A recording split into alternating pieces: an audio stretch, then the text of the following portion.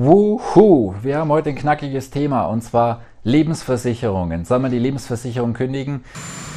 What a stupid question that is. Ja, die Branche steht, sagen wir es mal vorsichtig, nicht so ganz gut da. Das wollen wir uns heute anhand von Zahlen, Daten, Fakten einmal genauer anschauen, warum das, das der Fall ist, wie sich das bereits jetzt äußert, wie die Entwicklung sein wird und dann auch am Schluss, ja, was sollte man jetzt genau tun. Also heute wieder ein spannendes Thema. Herzlich willkommen zur Faszination Freiheit. Klasse, dass du wieder mit dabei bist. Und erstmal, warum tun sich die Lebensversicherer denn so schwer? Ja, Hauptgrund und ja, weitere Gründe mit dazu. Erstmal der Hauptgrund, niedrige Zinsen. So, das ist Gift für, für das Geschäft der Lebensversicherungsbranche. Denn wir sehen auch hier die Entwicklung vom Garantiezins, der immer weiter nach unten ging. Denn die Lebensversicherer tun sich sehr, sehr schwer, dass sie Renditen erwirtschaften. Das Problem ist jetzt, sie haben eben noch vor ein paar Jahrzehnten haben sie immer noch äh, reihenweise Verträge in ihren Reihen, der eine Versicherer mehr, der andere Versicherer weniger, wo sie Garantiezinsen erwirtschaften, die nicht realistisch sind, die damals möglich waren, aber eben nicht mehr heute. Sie müssen sie aber gewährleisten und das bringt Versicherer in eine Bredouille. Was jetzt nochmal neu mit dazugekommen ist, ja, das ist die Unsicherheit an den Unternehmensanleihenmärkten, vielleicht auch zukünftig bei den Staaten. Das heißt, die Papiere, die sie drin haben, die vielleicht gerade noch so eben diese Renditen erwirtschaften, sind vielleicht dann eben tot, beziehungsweise nicht mehr so sicher, müssen teilweise abgeschrieben werden, vielleicht auch komplett bei dem einen oder anderen Unternehmen. Auch das ist ja eines der Gründe, warum das die Notenbanken dort draußen ja alles versuchen, irgendwie die Realwirtschaft und auch die, die großen Unternehmen am Leben zu erhalten. Dann das auch kann hier einen Dominoeffekt bringen. Also nicht nur bei den Banken, auf die wir schon auch öfter eingehackt haben, heute zur Abwechslung mal wieder bei den Lebensversicherungen. Wobei es ja nicht um Einhacken geht, sondern es geht einfach um Aufklärung, was passiert dort draußen eigentlich wirklich. Ja, Unternehmenssektor sehr, sehr schwierig und die Corona-Krise macht sich natürlich ebenfalls bemerkbar. Ja, also schauen wir uns mal an. Ähm, hier mehrere Anbieter vor dem Aus. Studie zeigt schlimme Lage bei Lebensversicherungen und da sind viele Lebensversicherer sehr, sehr angeschlagen. Versicherer mit Verlusterwartung. Du siehst hier die ganze Liste oder sind klanghafte Namen mit dabei. Um mal zu nennen, die Nürnberger Lebensversicherung, R&V, Süddeutsche, Universa, Signal Iduna, VPV. Die hier genannten Anbieter dürften in 2020 Verluste einfahren. Und Versicherer mit geringer Zahlungsfähigkeit. Das heißt, naja, die sind mehr oder weniger kurz vor der Pleite, Insolvenz.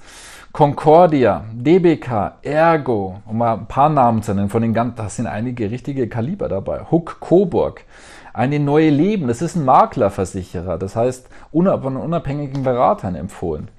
Und hier, Versicherungsbote schreibt, die Zahlungsfähigkeit dieser Versicherer sei so gering, dass der Geschäftsbetrieb nur mit Übergangsmaßnahmen weiter erfolgen kann. Puh, das ist harter Tobak. Das ist nicht ganz ohne. Wenn du jetzt sagst, naja gut, ach, zum Glück habe ich keine Lebensversicherung, ich habe in der betrieblichen Altersvorsorge eine Pensionskasse abgeschlossen. Ja, dann geht es hier weiter. Ähnlich würde im Lebensversicherern, ist ja knapp ein Viertel aller Pensionskassen wird von der BaFin beaufsichtigt. Das ist nicht aus Jux und Tollerei, weil die BaFin nicht weiß, was sie tun soll, sondern weil es diesen Pensionskassen nicht sehr gut geht. Ja, der Chefaufseher von der BaFin, Frank Grund, sagt dazu, Pensionskassen sind durch die aktuelle Niedrigzinsphase besonders betroffen. Es muss jedem klar sein, dass ihr Geschäftsmodell in Gefahr ist. Ja, Zettel weg, ist auch sehr deprimierend wenn sich die Zinsen weiter auf diesem Niveau bewegen. Wir beobachten die Situation mit Sorge. Mit anderen Worten, es geht bei manchen Anbietern um die nackte Existenz.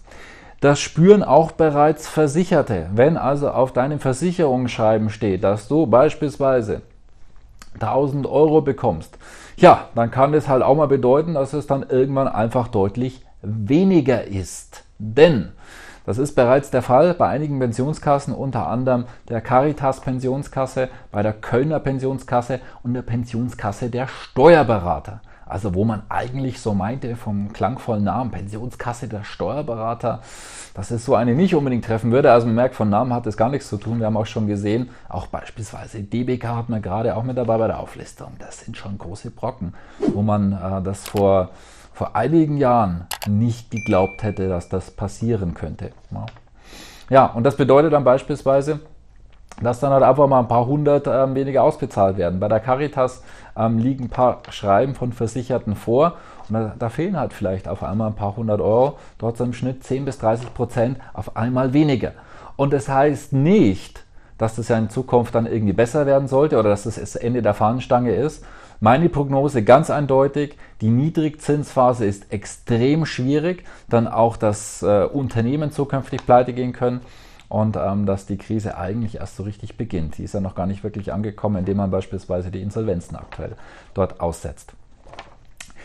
Inwieweit das eine Lebensversicherung generell sinnvoll ist, schauen wir uns hier mal an. Ähm, Schatteninflation, das heißt, die wahre Inflation, die wir hören, wir haben in den USA sehr, sehr gute Zahlen, hier auf shadowstats.com, kannst du hier einmal anschauen. Wir sehen hier die niedrige Kurve, wo man offiziell so mitbekommt, Inflation so um die 2%. Das klingt nicht so dramatisch.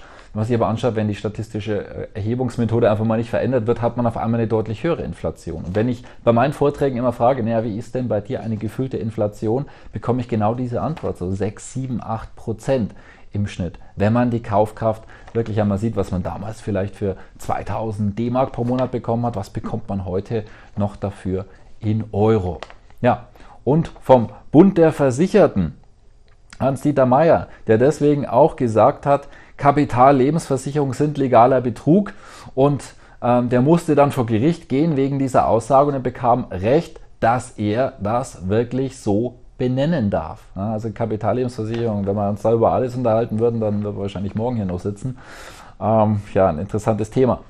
Weiter, die Allianz hat keinen Bock mehr auf ähm, Garantien bei vorgebundenen äh, Lebensversicherungen. Hat einfach damit zu tun, aufgrund dieser Niedrigzinsphase, wenn die beispielsweise dann nur, um die Garantien sicherstellen zu können, nur 90 äh, oder nur vielleicht 10% in Aktienfonds investieren können und 90% festverzinslich, weil die gehen ja nicht ihr eigenes Risiko ein. Das heißt, im Hintergrund legen die das ja sehr, sehr stark dann in festverzinslichen Wertpapieren an, damit sie die Garantie sicherstellen können. Ist ja verständlich, ist ja klar. Die, die Allianz möchte ja nicht äh, die Haftung dafür übernehmen, sondern die machen das dann so. Dann legen sie das vermeintlich sicher an. Ne? Wie sicher das festverzinsliche Wertpapiere sind, das sei jetzt mal dahingestellt, auch nach Inflation und Währungsreform. Aber nichtsdestotrotz, ja, dann macht es eine äh, Allianz dann eben so und dann stellen sie halt fest, naja, wenn wir halt noch 5 bis 10 Prozent Aktienquote jetzt als Beispiel haben, wird der Braten auch nicht so richtig fett und deswegen, dass sie dann äh, jetzt äh, Garantie oder Beitragsgarantien haben von 60 bis 90 Prozent und das Ganze so anbieten. Dann merkt man, dass sie einfach auf das aktuelle Umfeld dann reagieren, damit sie überhaupt noch die Möglichkeit haben, auch mit einer Beitragsgarantie überhaupt noch festverzinslich ähm, investieren zu können. Das sind die Tendenzen, die wir aktuell sehen. Niedrigzinsumfeld. Es wird eher sogar noch schlimmer. Ich könnte mir vorstellen, dass die Notenbanken da sogar mit der Zeit noch weiter runtergehen werden. Je schlimmer die Krisen werden, die bauen sich ja weiterhin mehr und mehr auf. Das äh, erfordert ja das Zinseszinssystem, wo die, die, die Zinsen ja exponentiell nach oben gehen. Wir sind ja in der, in der Schlussphase des aktuellen Zinseszinssystems. Das wird ja noch sehr, sehr interessant sein in den nächsten Monaten, Jahren. Wir werden sehen, wie lange das äh, was dauern wird. Was aber ganz klar ist, die Tendenz, dass das, was wir jetzt hier besprechen, dass das noch weitergehen wird, ist absolut hundertprozentig. Dann, was dir bewusst sein muss als Lebensversicherungskunde, alle Arten von Zahlungen können zeitweilig verboten werden. Kannst du selber nachschauen, gib einfach bei Google ein, Paragraph 314 ähm, VAG, Versicherungsaufsichtsgesetz, da kannst du es jederzeit nachschauen. Das heißt, du kommst da nicht mehr ran. Das bedeutet, den letzten beißen die Hunde. Und dann hier, in Paragraph 2, unter der Voraussetzung nach Absatz 1 Satz 1 kann die Aufsichtsbehörde, wenn nötig, die Verpflichtungen eines Lebensversicherungsunternehmens aus seinen Versicherungen den Vermögenstand entsprechend herabsetzen. Was einfach bedeutet, was wir gerade schon gesehen haben, auch wenn du später in der Rente bist, auf einmal kriegst du deutlich weniger Rente. Oder ein Rückkaufswert ist auf einmal deutlich weniger, weil einfach dieses Geld nicht da war. Ganz einfaches Prinzip, wie man sich das Ganze vorstellen kann. Und zwar, Stell dir vor, es gibt einen großen Kuchen und es gibt wenig Menschen, die ein Stück Kuchen wollen. Na, alles wunderbar, geht dann nur gut auf, bleibt vielleicht auch noch gut was übrig. So, wenn jetzt aber dieser Kuchen auf einmal deutlich kleiner ist und sehr, sehr viele Menschen wollen diesen Kuchen, wie viel da kann dann verteilt werden? Ganz einfach, nicht sonderlich viel. Na, dann ist dieses Stück Kuchen vielleicht eben nicht so ein Riesenstück, na, wie es vor 10 oder vor 20 Jahren noch bei Lebensversicherung war, sondern das ist dann einfach nur noch so ein Ministück ist ganz einfach. Es kann nur das Geld verteilt werden, was wirklich vorhanden ist. Ist nicht kompliziert. Denke mal dran, Eine Lebensversicherung ist erst an sich selber keine Geldanlage, sondern die gehen auf die Kapitalmärkte und legen das ganze Geld weiter. Wenn die das nicht geschickt machen, beziehungsweise die Umstände, wo eine Lebensversicherung investieren darf, einfach nicht besonders rosig sind, dann ist einfach nicht viel zu holen, dann ist nicht viel vom Kuchen zu verteilen. Das ist ein ganz einfaches Prinzip. Ne? Ja, und falls du glaubst, ja, meine Lebensversicherung war da nicht bei, bei mir ist es besser, ich bekam ja noch das Schreiben, ja, dass ich äh, so und so viel Prozent, vielleicht drei Prozent gut geschrieben bekommen habe, dann sei auch immer hier der Hinweis, da sind die Kosten noch nicht berücksichtigt. Und zwar die ganzen Glaspalastkosten, äh, die ganzen äh, Vertriebsstäbe und so weiter, das muss gut bezahlt werden. Das heißt, da kannst du davon ausgehen, dass da noch einiges wegging. Das wissen viele nicht. Das heißt, was auf ihrem Versicherungsschreiben steht, sie bekommen so und so viel Verzinsung beispielsweise, das ist effektiv nochmal ein gutes Stück weniger. Das ist nicht nach den Kosten. Sei dir dessen also bewusst. Gut, gehen wir über in das Resümee. Ja, Inflation wird weiter Richtung Norden gehen. Zukünftig definitiv. Das heißt, es wird viel Geld hineingepumpt in die Märkte. Güterangebot tendenziell eher etwas schrumpfen, während es gleichzeitig schwieriger wird für die Wirtschaft. Das heißt, Best-Case-Szenario. Und wenn das auch noch äh, einige Jahre so gut gehen wird, dann passiert Folgendes. Ja, das heißt, wahre Inflation, eine Kaufkraft, auch wenn Lebensversicherung vielleicht noch etwas mehr wird, nichtsdestotrotz, deswegen hast du einen Kaufkraftverlust. Das ist das Best-Case-Szenario meiner Überzeugung nach bei dem Thema Lebensversicherung. Worst-Case-Szenario, dass die Marktteilnehmer irgendwann verstehen, dass der Euro vielleicht nicht so sicher ist und dass er innen bereits mehr und mehr ausgehöhlt wird und dass es ihn dann zum Zeitpunkt X nicht mehr geben wird. Währungsreform. Dann gehen nicht zwangsläufig die Lebensversicherungen pleite, sondern die Lebensversicherungskunden, denn deren Geld ist dann nicht mehr so viel wert. Wobei ich bin mir sicher, in dieser Bereinigungsphase wird es auch viele Lebensversicherer da draußen treffen. In diese Richtung wird es sicherlich gehen. Mal schauen, wie viel das wir ähm, dann zukünftig noch sehen werden, wenn jetzt bereits viele mit Übergangsmaßnahmen bestehen werden und es wird nicht einfacher werden. Wenn ich persönlich eine Lebensversicherung hätte, also ich spreche auch übrigens immer von Kapitallebensversicherungen, wir werden uns nochmal separat auch über vorgebundene Lebensversicherungen und über deren Leichen im Keller unterhalten, da sind wir auch gerade zurzeit am Recherchieren.